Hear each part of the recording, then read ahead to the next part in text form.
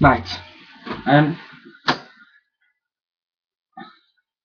Hello, it's the 5th of September. Woo! 25 days to my birthday.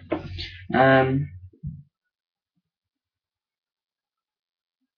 But yeah, I'm just thinking, shall I get a haircut or not? It's like that at the moment. Well, that. So, subscribing with you.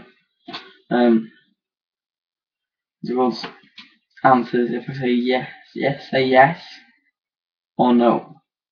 Only. Only. So, bye.